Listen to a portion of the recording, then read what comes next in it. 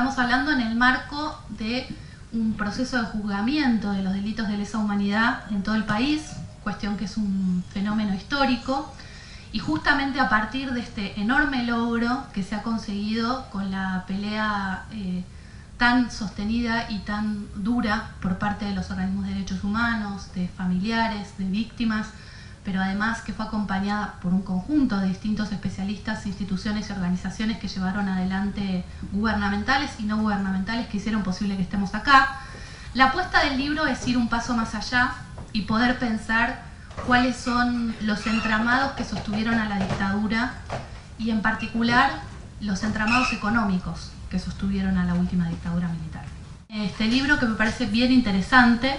porque efectivamente proviene desde el campo de la investigación, proviene, yo creo que sintetiza los aportes de un conjunto de especialistas, cada uno en su tema,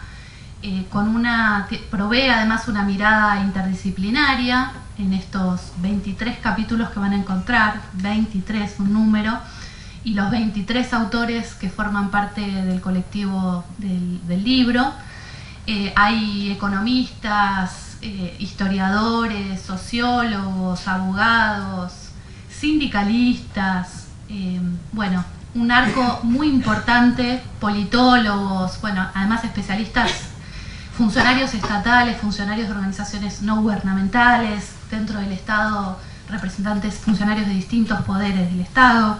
Creo que reflejan una enorme diversidad y la pregunta central del libro que parte desde una mirada internacional que me parece muy interesante, sitúa el caso argentino eh, en un contexto mucho más amplio y que además eh, parte de capítulos que abordan la historia de las ideas y, el papel de usinas del pensamiento y de referentes de política económica durante la última dictadura. Hay además una inclusión de problemáticas que tienen que ver con la evolución de los juicios, eh, en distintas instancias, tanto referido a casos como en términos de grandes procesos.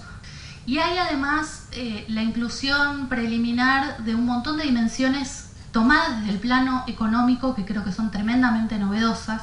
Por ejemplo, las relaciones económicas entre el gobierno militar y la iglesia, las vinculaciones de algunas asociaciones de abogados, la Asociación de Abogados de la Ciudad de Buenos Aires particularmente, con el poder militar y el poder funcional de determinados abogados en este proceso,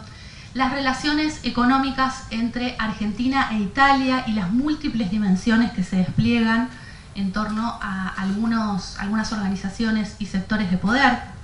el papel de los medios en términos económicos respecto a la dictadura, y ahí aparece el caso papel prensa muy emblemáticamente, pero además el papel de generación de, eh, bueno, de, la importancia de los medios a la hora de eh, publicitar y presentar ante la sociedad lo que era el proceso de reorganización nacional y el efecto de legitimación muy fuerte que operaron durante la dictadura.